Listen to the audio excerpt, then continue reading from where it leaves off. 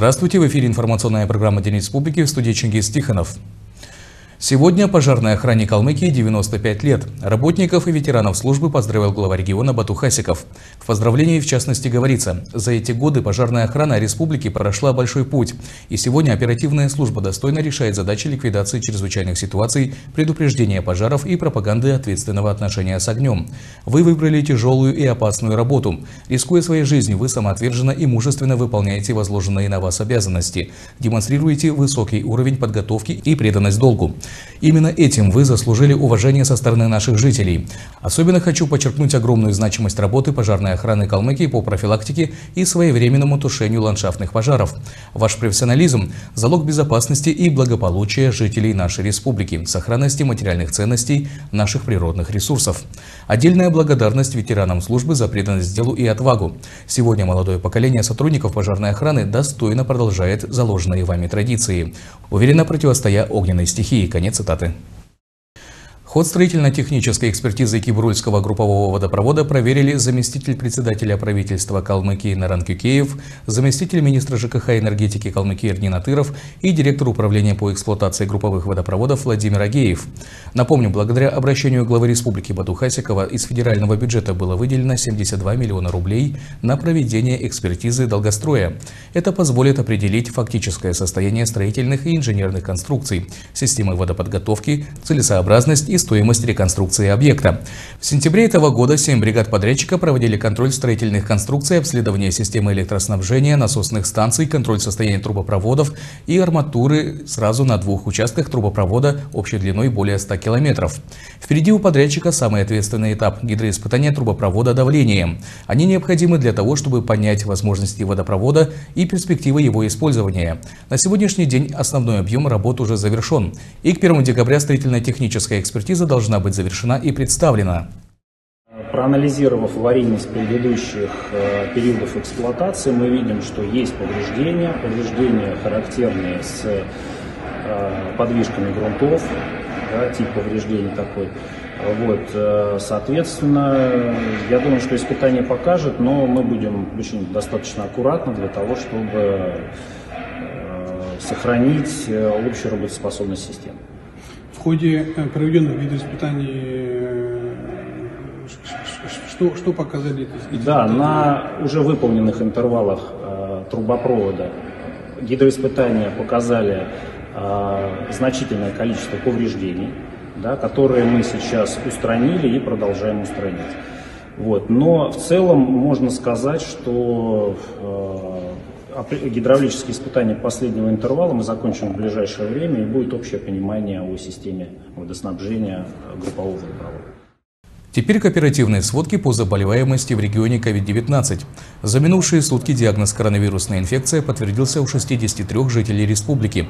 Два человека не справились с болезнью, 53 выздоровели. На сегодняшний день на лечении в инфекционных больницах находится 510 человек. 20 пациентов в тяжелом состоянии, в том числе 6 на ИВЛ. Режим домашней изоляции соблюдает 2676 контактных. При анализе заболеваемости установлено, что чаще всего болеют люди в возрасте от 18 до 60 лет. В Минздраве отмечают, отмечает рост числа заболевших лиц, активно посещающих общественные места и пользующихся общественным транспортом.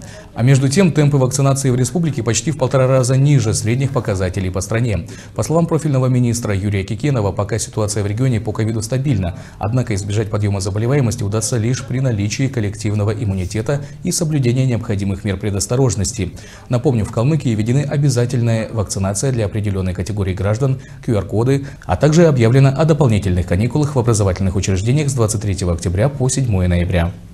И в продолжение темы. В населенных пунктах Октябрьского района продолжается вакцинация от коронавирусной инфекции местного населения. На днях поступила очередная партия вакцины. С начала старта прививочной кампании были развернуты пункты вакцинации во всех медицинских учреждениях района, в районной больнице, в трех фельдшерско-акушерских пунктах и трех отделениях общей врачебной практики. Количество граждан, желающих привиться от ковида, неуклонно растет, отмечают врачи. На сегодняшний день привито уже более 60% населения района. На сегодня в Октябрьском районе привито 2563 человека. Из них около 200 это ревакцинированные пациенты, которые ранее в марте, в апреле получили первую дозу. А, в общем, количество доз, полученных районной больницей, около 4000. Пациенты наши доброжелательные, отзывчивые. э, желающие привиться, понимающие опасность э, бушующей болезни. Проблемы с вакцинацией на сегодня нет.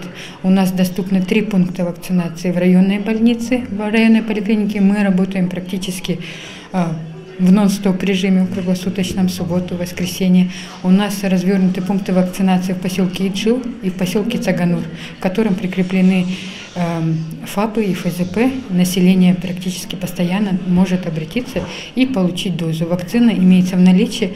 Спутник Лайт однодозовая вакцина и Гам-Ковид Вак это спутник ВИД двудозовая.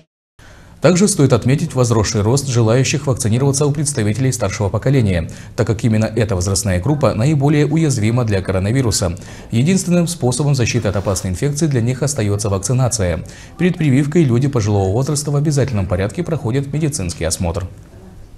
Максимально охватываем то население, которое жалуется, быстро выявляем, реагируем а, обследуем, лечим. Многие, конечно, получают амбулаторную помощь, но часть из них, которые люди с, хроническими заболеваниями, они требуют стационарного лечения. А, медицинская помощь оказывается своевременно, госпитализируется и благополучно выписывается. В разгар пандемии медперсонал Октябрьской районной больницы принял основной удар на себя. Здесь был развернут госпиталь на 30 коек. Медицинские работники буквально жили в больнице, чтобы спасать жизни людей. Сегодня здесь трудится 22 врача, 53 человека среднего и младшего медперсонала. Круглосуточно дежурит бригада скорой помощи. Полностью мы справлялись своими силами, что врачебным, средним медицинским персоналом, младшим медперсоналом. Сегодня активно поддерживается и программа э, вакцинации именно первичным звеном, где оплачиваются стимулирующие выплаты по вакцинации нашему персоналу. Так что я думаю, что здесь решаются все вопросы для того, чтобы нашему персоналу медицинскому было комфортно работать дома. Задержан подозреваемый, который обвиняется в причастности к убийству жителя села Садовое, сообщает пресс-служба Следственного управления Следственного комитета по Калмыкии. Ранним утром 15 октября текущего года на обочине автодороги Садовое-Абганерова было обнаружено тело мужчины с признаками насильственной смерти. Личность убитого была установлена, им оказался житель Сарпинского района. По данному факту возбуждено уголовное дело. Благодаря грамотно организованным и проведенным следственным и иным процессуальным действиям было установлено и задержано лицо, причастное к совершению указанного преступления. По ходатайству органа следствия Сарпинским районным судом Республики Калмыкия подозреваемому избрана мера пресечения в виде заключения под стражу. В настоящее время следователи устанавливают все обстоятельства произошедшего, допрашиваются свидетели и очевидцы совершенного преступления, назначаются необходимые судебные экспертизы. Санкции за совершение преступления, предусмотренного частью 1 статьи 105 Уголовного кодекса Российской Российской Федерации предусматривает наказание в виде лишения свободы сроком от 6 до 15 лет. Расследование уголовного дела продолжается. В листе налоговая будет работать в выходные дни. У жителей, которые не могут посетить налоговые органы в будни, будет возможность сделать это по субботам с 9.30 до 16 часов и воскресеньям с 9.30 до 13 часов.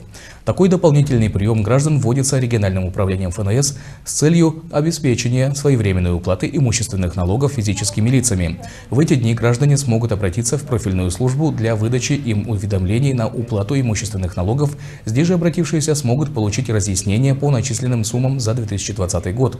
Прием будет осуществляться в кабинете 102, телефон для справок 41668. Напомню, транспортный, земельный и налог на имущество необходимо уплатить до 1 декабря текущего года. Выпуски новостей, а также другие передачи нашего телеканала смотрите в цифровом вещании канала УТР на 21 кнопке в IPTV зеленой точки Ростелекома и на официальном аккаунте в Instagram reakalom.ru. На этом у меня все. Всего доброго и до встречи в эфире.